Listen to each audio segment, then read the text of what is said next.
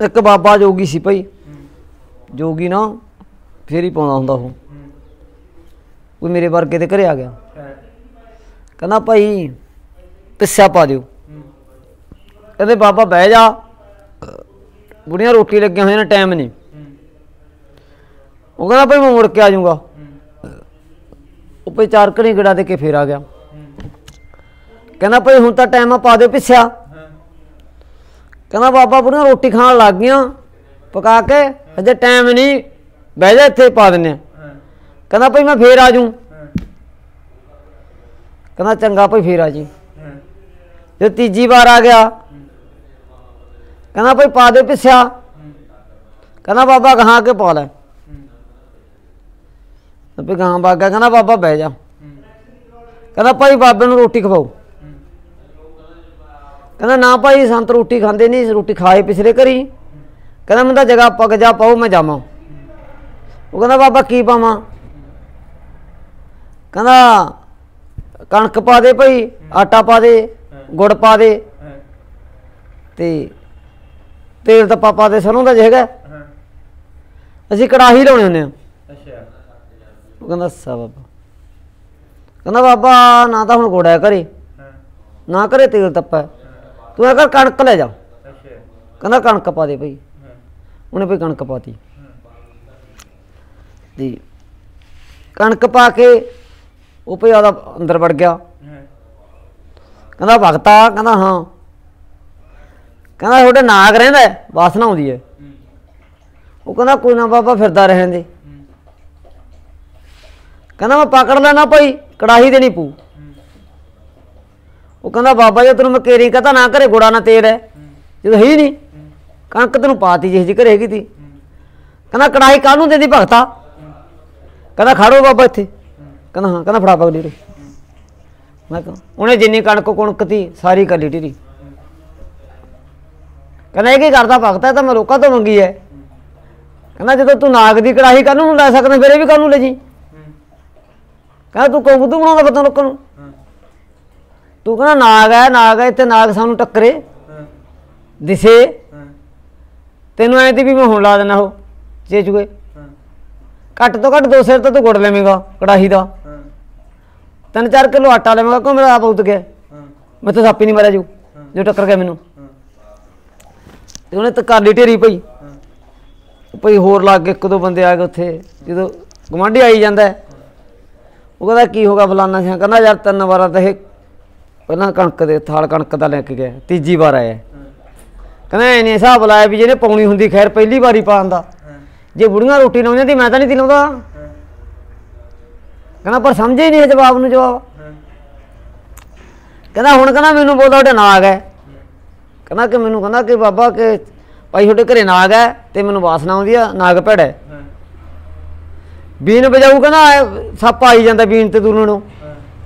ਕਹਿੰਦਾ ਜੇ ਘਰੇ ਨਹੀਂ ਹੈਗਾ ਤਾਂ ਲਿਆਊ ਘਰੇ ਸਾਡੇ ਕਹਿੰਦਾ ਕਹਿੰਦਾ ਕਿ ਮੈਂ ਕਿ ਬਾਬਾ ਕੜਾਹੀ ਲਵੇਂਗਾ ਫਿਰ।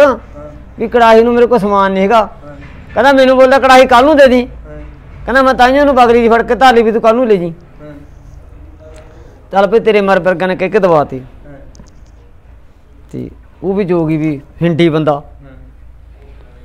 ਜੋਗੀ ਨੇ ਆਖਿਆ ਵੀ ਆਪਾਂ ਕੋਈ ਗੱਲ ਨਹੀਂ। ਕੜਾਹੀ ਤਾਂ ਤੋਂ ਲੈ ਕੇ ਛੱਡਾਂਗੇ।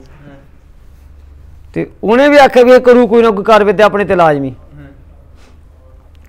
ਜੋਗੀ ਭਈ ਰੋਜ਼ ਆਇਆ ਕਰੇ ਪਿੱਛਾ ਪਾਉ ਭਾਈ।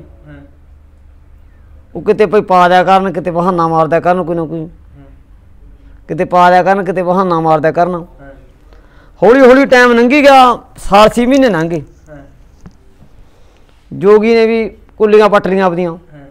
ਲੈਵੇ ਵਾਲੇ ਪਿੰਡ ਹੋਰ ਲਾ ਲੀਆਂ ਉਹਨੇ 15 15 ਕੋ ਤੱਕ ਮੰਗਿਆ ਹੁੰਦੇ ਨੇ ਵਿਚਾਰੇ। ਜਦੋਂ ਉਹਨਾਂ ਦਾ ਕਿੱਤਾ ਜਦੋਂ ਫੇਰ ਉੱਥੋਂ ਵੀ ਆ ਗਿਆ ਮੰਗਣ, ਦੂਜੇ ਪਿੰਡੋਂ ਵੀ। ਉਹ ਕਹਿੰਦਾ, ਉਹ ਗੱਲ ਸੁਣ ਮੇਰੀ ਨਾਥਾ। ਕਹਿੰਦਾ, ਹਾਂ। ਕਹਿੰਦਾ, ਮੇਰੇ ਨਾਲੋਂ ਤੇਰੇ 'ਚ ਵਜਨ ਵੱਧ ਹੋ ਮੇਰੇ ਨੂੰ ਤੂੰ ਵਾਟ ਵੱਧ ਕੱਢਦਾ ਕਹਿੰਦਾ, ਕਿਉਂ? ਕਹਿੰਦਾ, ਹੁਣ ਇੱਡੀ ਦੂਰੋਂ ਆਇਆ ਤੂੰ ਤੁਰਿਆ। ਸਾਰਾ ਦਿਨ ਤੇਰਾ ਤੁਰਦੇ ਦਾ ਲੰਘ ਜੂ। ਕਹਿੰਦਾ, ਹਾਂ। ਕਹਿੰਦਾ, ਜੇ ਦਿਹਾੜੀ ਵਗ ਜਾ ਕਰੇ ਦਿਹਾੜੀ ਵਗ ਜਾ ਕਰੇ। ਨਾਲੇ ਸਾਰਾ ਦਿਨ ਤੁਰਨ ਦੀ ਲੋੜ ਨਹੀਂ। ਉਹਦਾ ਕਥਾ ਮੈਂ ਕੰਮ ਕਰੀਗਾ। ਹੱਥ ਨੇ ਅਗਲੇ ਤੂੰ ਮੋਜਣਾ ਦਿਹਾੜੀ ਫੜ ਲਿਆ ਕਰ। ਕਹਿੰਦਾ ਵਾਹ ਭਗਤਾ ਬੜੀ ਮੱਤ ਦਿੰਨਾ ਹੈ। ਕਹਿੰਦਾ ਕਿਉਂ? ਕਹਿੰਦਾ ਜਿੱਦੇ ਸੀ ਦਿਹਾੜੀ ਵਾਗੇ ਸਾਡੀ ਜੋਗਣ ਉਹਦੀ ਭਾਜੂ ਕਹਿੰਦਾ ਕਿਉਂ? ਕਹਿੰਦਾ ਹਾਂ। ਸਾਡੇ ਕਹਿੰਦਾ ਦਾਜ ਦੇ ਵਿੱਚ ਸੋਡੇ ਦਾ ਕੁਛ ਕੋਹਤ ਕੁਛ ਕਰਦੇ ਨੇ। ਸਾਡੇ ਜਿਹਨੇ ਸਰਾਲ ਦੇਤੀ ਨਾ ਦਾਜ ਚ ਕਹਿੰਦਾ ਉਹ ਸਭ ਤੋਂ ਵੱਡਾ ਜੋਗੀ ਗਿਣਿਆ ਜਾਂਦਾ ਹੈ। ਤੂੰ ਕਹਿੰਦਾ ਪਤੰਦਰਾ ਕਹਿੰਦਾ ਕਿ ਦਿਹਾੜੀ ਵਗ ਜਾ। ਕਹਿੰਦਾ ਫਿਰ ਐਂ ਕਰ ਬਾਬਾ ਕਹਿੰਦਾ ਹਾਂ।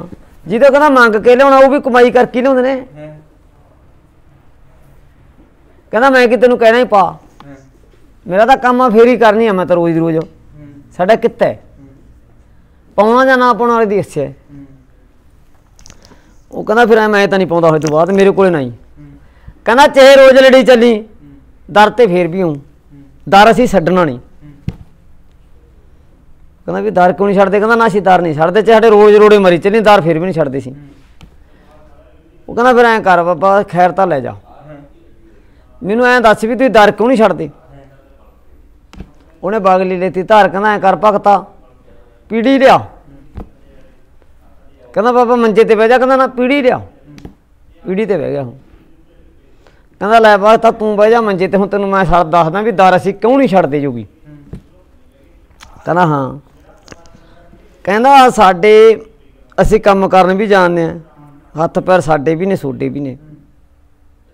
ਅਸੀਂ ਸਾਰਾ ਕੁਝ ਕਰਨ ਜਾਣਦੇ ਆ ਤੁਰਨ ਫਿਰਨ ਨੂੰ ਤਾਂ ਅਸੀਂ ਇੱਕ ਥਾਵੇਂ ਕੰਮ ਤੇ ਠੀਕ ਐ ਮੈਂ ਵੀ ਮੰਨਦਾ ਸੀ ਚੰਗੇ। ਪਰ ਕਹਿੰਦਾ, ਸਾਨੂੰ ਸਰਾਫ ਹੈ। ਕਹਿੰਦਾ, ਕਿਵੇਂ? ਕਹਿੰਦਾ, ਜਦੋਂ ਗੋਰਖਨਾਥ ਨੇ ਪੂਰਨ ਦੇ ਮੁੰਦਰਾ ਪਾਉਣ ਗਏ ਮੰਨ ਲੈ?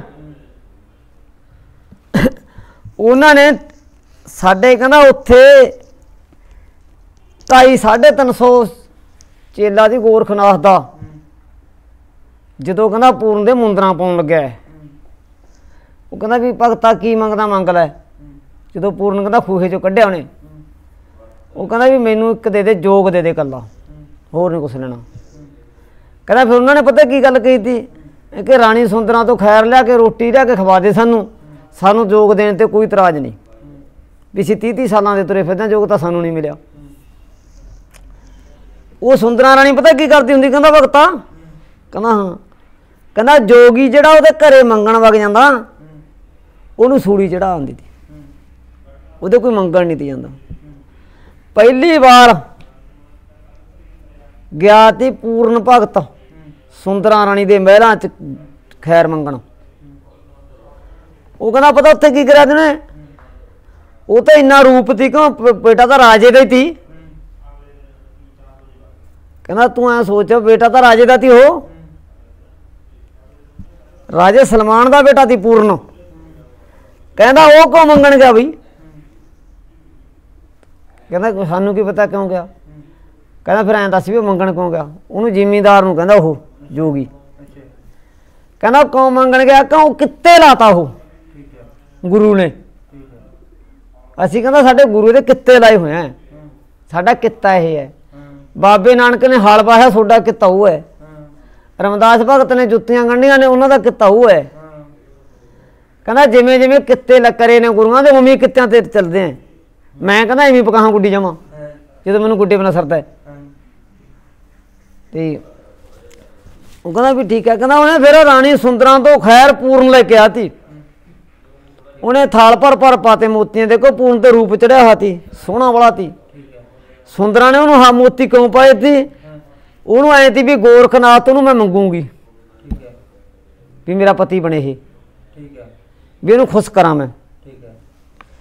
ਉਹ ਪਗਲੀ ਭਰ ਕੇ ਉਸ ਦੀ ਲੈ ਗਿਆ ਸੀ ਹੀਰੇ ਮੋਤੀਆਂ ਦੀ ਜਾ ਕੇ ਢੇਰੀ ਕਰਤੀ ਗੋਰਖ ਦੇ ਮੂਰੇ ਕਹਿੰਦਾ ਉਹਨੇ ਫਿਰ ਗੋਰਖ ਨੇ ਪਤਾ ਨੂੰ ਕੀ ਕਿਹਾ? ਕਹਿੰਦਾ ਭਾਈ ਇਹ ਰੋੜ ਨੇ। ਇਹ ਨਹੀਂ ਚੱਬੇ ਜਾਂਦੇ ਖਾਣਾ ਲੈ ਕੇ ਆਓ। ਹਾਂ ਇਹ ਸੁੰਦਰਾਂ ਬਾਗੀ ਸੁੰਦਰਾਂ ਕਹਿੰਦੀ ਜੀ ਰੋਡ ਨਹੀਂ, ਇਹ ਤਾਂ ਹੀਰੇ ਮੋਤੀ ਨੇ। ਕਹਿੰਦਾ ਨਾ ਭਾਈ, ਜੇ ਸੇਵਾ ਕਰਨੀਆਂ ਤਾਂ ਤਾਂ ਕਹਿੰਦਾ ਭੋਜਨਾਂ ਦੇ ਗੱਡੇ ਭਰ ਕੇ ਲਿਆ ਕਿਉਂਕਿ ਫਿਰ ਰਾਣੀ ਸੁੰਦਰਾਂ ਨੇ ਸੱਤ ਗੱਡਿਆਂ 'ਚ ਭੋਜਨ ਲੈ ਕੇ ਗਈ ਉਹਨਾਂ ਦਾ ਗੁਰਖਨਾਥ ਦਾ।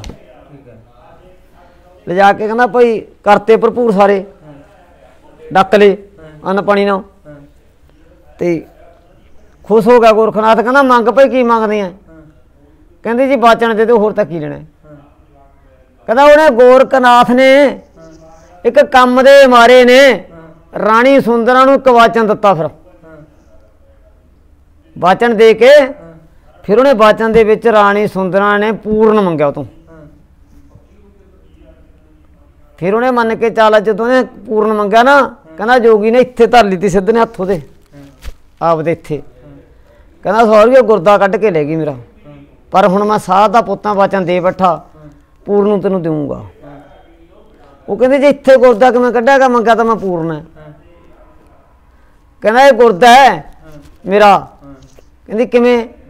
ਕਹਿੰਦਾ ਗੁਰਦਾ ਇਹ ਐ ਹੈ ਜਦੋਂ ਤੈਨੂੰ ਇਹ ਡੋਲ ਸਕਦਾ ਹੈ, ਜਿੰਨੇ ਜੋਗੀ ਸਿੱਧ ਗਏ ਨੇ ਹਰੇਕ ਛੂੜੀ ਚੜੇ ਨੇ। ਤੇ ਇੱਥੋਂ ਇੱਥੇ ਟੱਲੇ ਤੇ ਲੰਗਰ ਮੰਗਾ ਸਕਦਾ ਕਹਿੰਦਾ ਇਦੋਂ ਵੱਡਾ ਗੁਰਦਾ ਕੀ ਹੂ ਮੇਰਾ?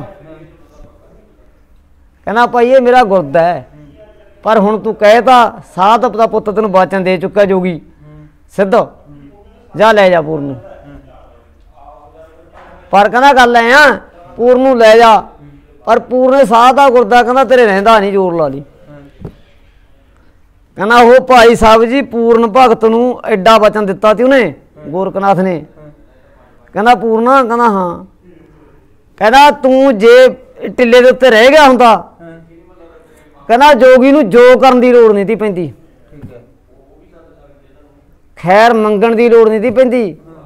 ਜਿਹੜੇ ਸਹਿਰ ਵੀ ਦੀ ਕੇਰਾ ਲੰਘ ਜਾਂਦਾ ਤੂੰ ਤਾਂ ਗੱਡਿਆਂ ਦੇ ਗੱਡੇ ਭੋ ਜਾਂਦੇ ਟਿੱਲੇ ਤੇ ਆਉਂਦੇ ਇੱਥੇ। ਪਰ ਕਹਿੰਦਾ ਪੂਰਨ ਨੂੰ ਰਾਣੀ ਸੁੰਦਰਾਂ ਲੈ ਗਈ ਉਹ ਟਾਈਮ ਦੇ ਵਿੱਚ ਜੇ ਨਾ ਲੈ ਜਾਂਦੀ ਕਹਿੰਦਾ ਤੇਰੇ ਬਗਲੀ ਲੈ ਕੇ ਨਹੀਂ ਦਿਉਂਦਾ ਮੈਂ। ਤੂੰ ਆਪੇ ਲੈ ਕੇ ਜਾਂਦਾ ਸਾਡੇ ਉੱਥੇ। ਕਹਿੰਦਾ ਤੂੰ ਮੰਗੇ ਨੂੰ ਖੈਰ ਵੀ ਨਹੀਂ ਪਾਉਂਦਾ। ਜੋਗੀ ਨੇ ਉਹਨੂੰ ਫਿਰ ਆ ਵਚਨ ਦਿੱਤਾ ਸੀ